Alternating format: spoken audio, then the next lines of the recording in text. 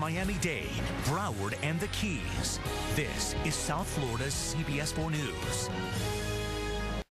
For many young adults and teens, aging out of the foster care system is overwhelming, but one South Florida organization is there to help them. They're hoping you can be part of that transition.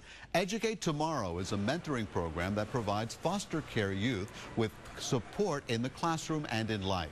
At 14, Antonio Shelton, now 27, became the first mentee at the organization, which opened the doors to him to go to college.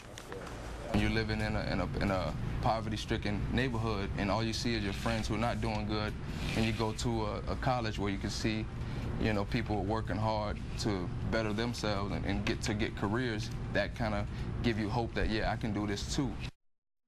Hope makes such a difference. Educate Tomorrow is holding a wine tasting and silent auction tonight to benefit the organization. If you'd like to attend, head to Miami Tower Sky Lobby. That's 100 Southeast 2nd Street. It's the former Bank of America Tower in downtown Miami. It kicks off at 5.30, and if you want more information, go to our website and find it, cbsmiami.com.